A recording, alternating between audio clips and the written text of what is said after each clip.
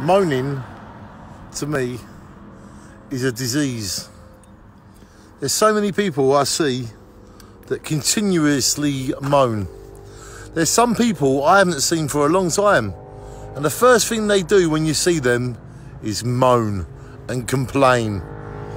I do believe now that I am 44, I believe that life is great and wonderful. And I do occasionally get upset or whatever, I try not to moan all the time. Maybe this could be looked at as moaning. I think that moaning is a disease. It's contagious. When you're around people that moan all the time, you end up moaning yourself. People like that moan, they're everywhere. And now, now we've got social media, there's even more moaners. Me, me, me, me, me. Me, me, me, me, me. Oh gosh, give it a rest. Moaning is a disease. And it's okay to, to like talk about things that are genuinely happening, like when someone's ill or when you've lost someone, then that could be okay for a while.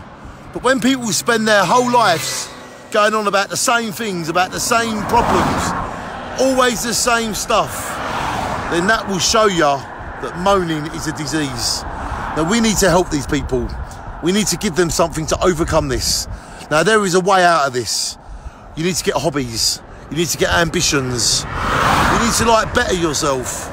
You need to move somewhere else. You need to do something else. You need to meet some more people. You need to change your ambitions. You need to change your car. I like my car. Moaning is contagious. Moaning is a crime moaning is something that should be kept to yourself. I now am at the age where I will just stop my car and I will make a video about anything on my mind. I do not agree with people that moan all the time. I do think that they are causing other people problems and I do believe it's rubbing off on other people. Now, I will make films about things I disagree with and I disagree with people that moan all the time. It's time for you to shine on. Not shine off, shine on. And there is hope for you moaners, you groaners, you moaners. There is a hope for you. All you've got to do is develop your hobbies, develop your interests, and talk to people about them interests. Talk to people about your hobbies. Talk to people about your dreams. Overcome moaning with things that are better than moaning. And I can name a million things that are better than moaning. So please, please overcome the moaning. Go and get a great album like this. Play some great music, go to some great places, meet some wonderful people, and that will overcome all the things that you live inferior of. Your inferior is to moan. It doesn't help you, it doesn't help me.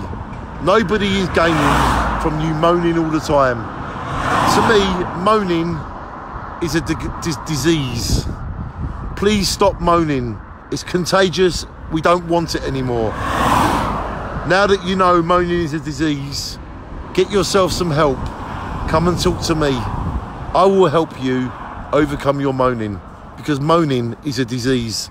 And I will help anybody overcome this disease because it's just in the mind. It's not a real disease. It's just in your mind. Moaning is. Moaning is a disease. Just stop it and be free. Like me.